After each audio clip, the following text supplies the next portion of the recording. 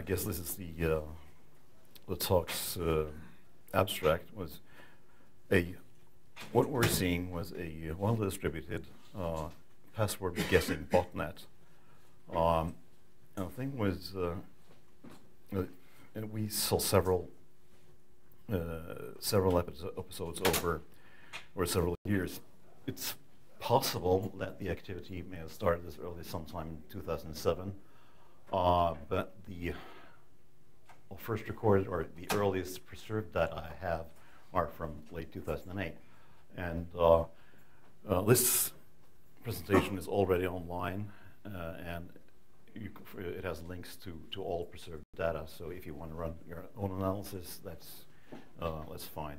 Uh, unfortunately, the, the data is not really extensive, it comes only from a handful of machines.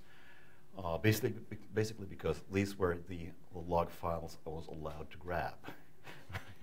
like uh, my own machines, and uh, no, uh, nobody, nobody, else has uh, jurisdiction over um, uh, over those. So um, anyway, the what we're seeing, well, it, it really hinges on, on my on my authentication logs, and um, basically well, the, uh, it'll become clear after uh, after a while as the presentation proceeds why this was new and uh, uh, a little frustrating at first.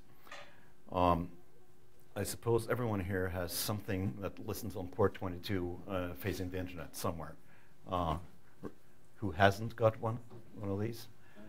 All right. um, but anyway, then you probably